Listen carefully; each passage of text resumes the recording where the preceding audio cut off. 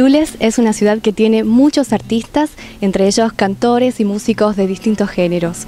Hoy nos encontramos con una familia que podríamos decir hace varios años viene siendo conocida en la ciudad y también en la provincia por el gran talento que ellos presentan. Les voy a darle la bienvenida al señor César, más conocido por todos como el Pato Nieva. ¿Qué tal? ¿Cómo le va? Eh, buenas tardes. La verdad que es un gusto de estar este, este, en este lugar tan histórico. Y recordemos un poco cómo es el comienzo del Pato Nieva y sus changos y de los chicos que no los habíamos nombrado, pero acá están. Pablo Nieva, Jeremías Nieva también. Chicos, bienvenidos. ¿Qué nos puede contar de aquel entonces? Este, bueno, yo siempre he sido, me ha gustado la música, me ha gustado cantar, o sea, no he tenido la posibilidad que, han tenido ellos, por ejemplo, de asistir a, estudiar en algún, en algún lugar. Pero bueno, siempre a uno le ha gustado cantar, participar de, de asado, de reuniones, de grupos de la parroquia, en aquellos tiempos cuando... Y ahí hicimos un, trío con dos compañeros de acá de Lule. Y bueno, siempre cantando así en fiesta. Pero cuando hemos empezado, digamos, ya así como grupo, fue cuando ellos eh, ya aprendieron algo, a tocar algún instrumento, la guitarra o este, el teclado, de a poquito que iban aprendiendo, ahí ya un poco ya más corajudo, digamos, nos hemos largado a, a, cantar y a andar y a hacer la música nuestra. ¿Cómo ellos se acercan a la música? Bueno, yo creo que este, eh, los hijos, ¿no es cierto?, eh, maman, eh, aprenden o les gustan las cosas que, ven a, todos, los, todos los días en la familia. Por eso es tan importante, ¿no es cierto?, la, los padres en la crianza de los chicos.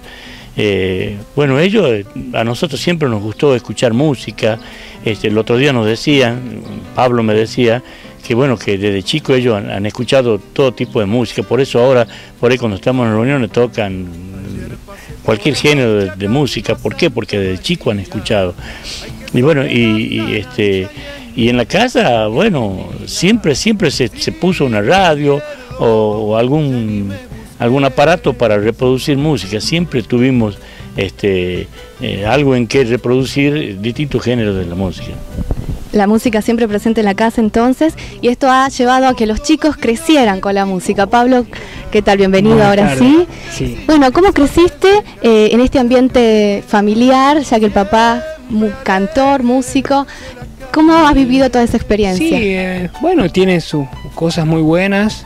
Eh, empezamos desde chico, en realidad arrancamos eh, nuestros principios con la música. En mi caso, bueno, como llevo un año con mi hermano, yo empecé a los seis, él y él a los seis también. yo empecé el año siguiente porque él empezó el teclado y bueno, yo he visto que que él aprendía y yo quería aprender, entonces al año siguiente arranco yo también y bueno, así fue de 6 a 8 el organito eléctrico, de 8 a 10 la guitarra y, bueno, de los 10 hasta, hasta los 10 el violín. Actualmente, ¿qué es lo que estás haciendo vos, Pablo? Bueno, yo actualmente eh, soy estudiante de ciencias económicas, estoy en, cuarto año, casi quinto ya de la carrera de contador público nacional. Eh, bueno, digamos que esa es mi obligación, digamos, principal. Pero bueno, con el tema musical eh, eh, soy integrante del grupo La Yunta, que es un dúo folclórico tucumano. Así que con ellos estoy de hace un tiempito. Te hemos visto hace poquito en Canal 7, con los chicos de La eh, Yunta. Sí, sí, estuvimos en Canal 7. Bueno, ellos sí vienen de hace, vienen de hace mucho tiempo, hace como 10 años, pero yo hace un año y pico que entré. Y sí, he tenido la suerte de, de compartir lindos momentos e ir a lugares digamos que bastante importantes para, para mí. En Canal 7 estuvimos en Todo Noticias, en el programa en Ecos de mi Tierra en Canal 7 y en Sin Estribos en Todo Noticias. Sí. Jere, tu turno, tu turno de contarnos. Me gustaría que eh, bueno, le cuentes a toda la gente de Lules y a toda la gente de Tucumán eh, ¿Qué recuerdos tenés de la infancia cuando estabas en los escenarios junto a tu hermano, junto al papá? ¿Alguna anécdota por ahí o algunos escenarios que hayas eh, conocido, algunos lugares? Eh, sí, la verdad que al principio, bueno, era como todo todo un descubrimiento, algo nuevo, muchos nervios. Por eso es bueno empezar de chico cuando se toca un instrumento, para que los nervios con el tiempo se vayan aplacando, digamos. Y bueno, eh, eh, con el conjunto desde chicos son muy buenos recuerdos porque era salir en familia. Bueno, la música tiene algo muy lindo, sobre todo la música popular, que es hacer muchos amigos en muchas partes, conocer mucha gente, si bien no son amigos íntimos, pero hay mucha gente con la que se logra buenas relaciones. Y bueno, conocer escenarios nuevos, lugares nuevos, la gente te recibe de otra manera, eh, la gente siempre se muestra muy agradecida, sobre todo en aquellos lugares por ahí que están olvidados y que vos vas, visitas, cantás y bueno, cosechás mucho de eso y es un aprendizaje muy lindo, digamos. Actualmente, ¿qué es lo que estás haciendo? Bueno, actualmente estoy terminando eh, una parte de la carrera de piano que se llama músico instrumental en piano en, el mismo instituto, eh, que es, digamos, un título intermedio hacia el profesorado. Y bueno, mis planes en realidad ahora son de trasladarme a Buenos Aires para estudiar composición. He tenido la suerte en el 2008 de integrar la banda, empezar a integrar la banda de Carlos Sánchez, el ex Tucu que se largó el solo a cantar y bueno, y con él también, así como Pablo con la Junta, eh, se abre otro camino nuevo, porque uno ya empieza a tener un poquito de proyección nacional.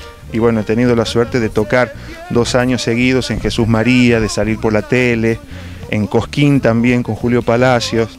Y bueno, y acompañar a mucha otra gente. Y en el 2008 también me ha dado un gusto muy personal, pero que bueno, ahorré la plata necesaria y grabé un disco con canciones de folclore en, en las que canto yo como solista.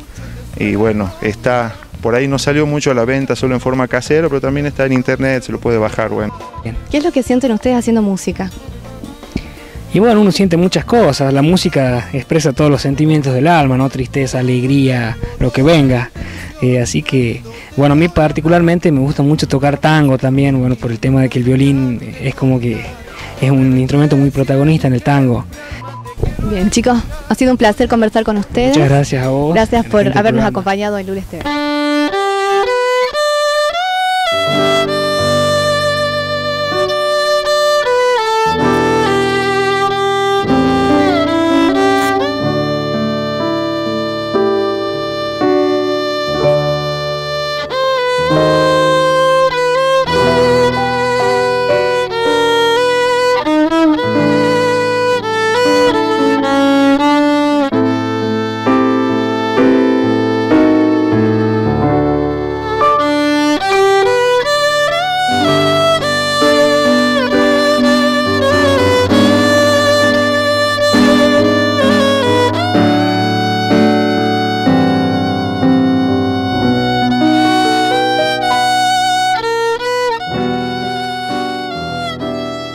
De esta manera estamos llegando al final de este primer programa, pero no me quiero despedir sin antes agradecer a Nuni y Agustín Martínez, propietarios de la Barra Vaquería, quienes me vistieron especialmente para el programa de hoy con un vestido blanco de broderí y un chaleco de encaje haciendo juego.